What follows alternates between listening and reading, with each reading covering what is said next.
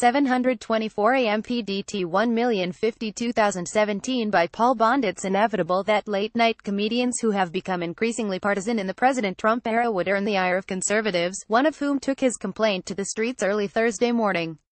His target Jimmy Kimmel, the conservative, and artist who goes by the moniker Sabo, created posters of Kimmel looking like a young Johnny Depp from the 1990 movie Cry Baby.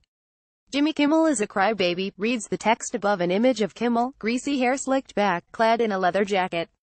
Sabo posted about a dozen of the posters in tough-to-reach places near Kimmel's home in Hollywood and near the famed Chateau Marmont Hotel. Others were displayed near the Jimmy Kimmel Live studio on Hollywood Boulevard. Other posters show Kimmel wiping a tear from his face and advertise a faux show called the Jimmy Kimmel Estrogen Hour, which Sabo says he created as an homage, sort of, to the days when Kimmel co-hosted The Man Show with Adam Carolla.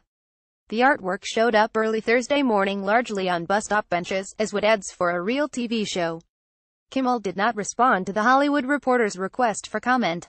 Sabo has been chastising liberal Hollywood for years with his street art.